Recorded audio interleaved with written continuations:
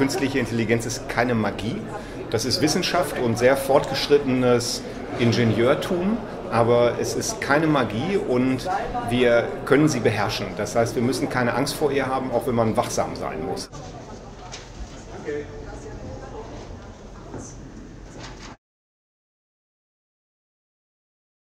Viele kennen nicht nur Navigationssysteme, sondern auch die, die mit Echtzeitdaten einen Stau anzeigen. Und das ist natürlich wahnsinnig praktisch.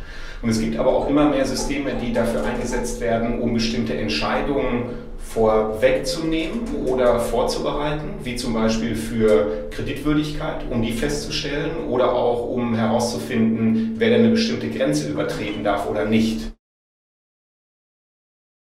Was wirklich wichtig ist, ist, dass wir den Menschen erklären, was diese Systeme tun. Und diejenigen, die das am besten könnten, das sind üblicherweise Eltern und Schulen, denn das sollte schon in einem relativ frühen Alter losgehen. Aber es ist nun mal auch so, dass die häufig damit überfordert sind. Das heißt, die brauchen Unterstützung. Und Unterstützung können die bekommen von Organisationen wie Algorithm Watch, können sie aber auch bekommen von Stiftungen und anderen Einrichtungen, die zum Beispiel Unterrichtsmaterial herstellen oder einfach Informationen darüber zur Verfügung stellen. Denn äh, es sind komplexe Fragestellungen, die wir haben und da brauchen die Menschen Hilfe.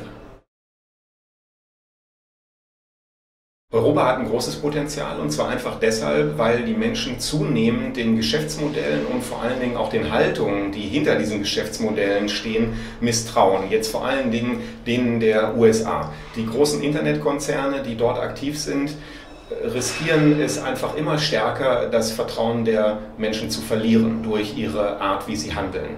Bei den Chinesen ist es so, dass ich mal behaupten würde, dass die meisten von uns ohnehin Angeboten aus China nicht trauen, weil dort die Verquickung von Unternehmen und ja doch äh, autokratischer Herrschaft sehr, sehr stark ist. Da hängt es natürlich dann davon ab, wie gut wir darüber informieren können, wie stark diese Verknüpfung ist. Das heißt, Unternehmen, die auf der Basis von europäischen Vorstellungen davon, wie ein gutes Leben zu sein hat, Angebote machen können, haben, denke ich, schon eine große Zukunft.